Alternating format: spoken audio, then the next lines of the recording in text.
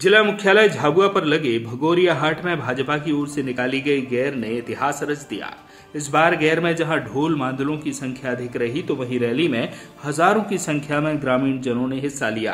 क्षेत्रीय सांसद गुमान सिंह डामोर, भाजपा जिलाध्यक्ष लक्ष्मण सिंह नायक, पूर्व विधायक झाबुआ, शांतिलाल बिलवाल एवं भाजपा के प्रदेश कार्यकारिणी सदस्य ओम प्रकाश शर्मा तथा पूर्व प्रदेश कार्यकारिणी तथा पूर्व भाजपा जिलाध्यक्ष दौलत भावसार ने गैर का नेतृत्व किया। वहीं इस दौरान मुख्य अतिथि के रूप में बाहर से पधारे भारतीय किसान संगठन के प्रदेश अध्यक्ष कमल सिंह, आंजना एवं क्षेत्रीय संगठन मंत्री महेश चौधरी भी मौजूद रहे।